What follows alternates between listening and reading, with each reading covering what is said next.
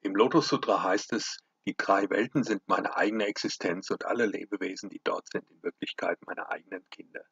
Wenn die Unterscheidung zwischen einem selbst und anderen an ein Ende gelangt, manifestiert sich das Gebot, töte nicht. Das Auslöschen der Unterscheidung von selbst und anderen löst also das Erscheinen dieses Gebotes aus. Es ist das Prinzip der Realität der Dinge, das durch seine Manifestation töte nicht verwirklicht. Erde und Himmel haben die gleiche Wurzel, alle Dinge sind ein Körper. Der andere existiert nicht unabhängig von mir und ich existiere nicht unabhängig von ihm. Darum ist nichts zum Töten übrig. Sowohl der andere als auch ich sind das Licht dieses buddhistischen Gebotes. Lichter von Buddhas Geboten töten einander nicht. Tiefe Dunkelheit lässt uns einander umbringen. Einander töten bedeutet etwas umbringen, was gar nicht getötet werden kann. Es gibt keine Form, keinen Geruch, der nicht vom mittleren Weg stammt. Berge, Flüsse, Gräser und Bäume, alles ist Buddha.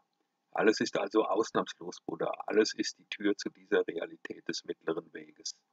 Bei dieser Lehre hat sogar das Wort töten keine Bedeutung mehr. Das Sutra des höchsten Auslöschens nennt diese Wirklichkeit andauernde und allgegenwärtige Buddha-Natur.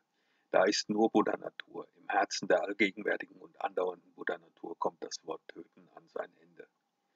Wir können Töte nicht gar nicht verstehen, wenn wir nicht das buddhistische Konzept des Nichts selbst studiert haben.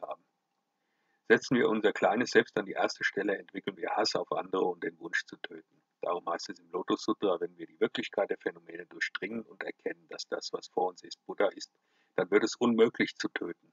Das heißt auch die Wirklichkeit zu durchdringen sei, den irdischen Kreislauf Samsara zu überschreiten. Seng Chao, ein Schüler Kumurachibas, sagte, die vier Elemente sind von Grund auf leer, die fünf Daseinsfaktoren haben von Beginn an keine Existenz. Ein Hals, der Schneider eines Schwertes entgegengestreckt, wird wie der Frühlingswind durchtrennt. Dies ist das Prinzip letztgültiger Lehre auf der Grundlage der Kraft von Weisheit. Da das Gebot Töte nicht nichts ist, worauf sich jemand stützen könnte, ist ein tiefes Verständnis des Prinzips der Lehre vonnöten. Nur wenn jemand den irdischen Kreislauf Samsara überwunden hat, haben Himmel und Erde dieselben Wurzeln und er erlangt den Bereich, wo alle Dinge ein Körper sind.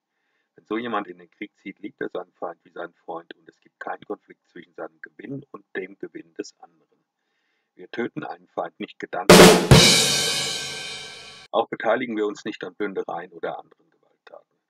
Wer Krieg führt, versetzt sich in die Lage des anderen Landes. Er schützt sein Volk so gut wie möglich. Aus militärischer Sicht sollte er zugleich den Krieg gewinnen. Dabei sollten Gefangene anständig behandelt werden. Der Sieg wird auf natürliche Weise eingeführt.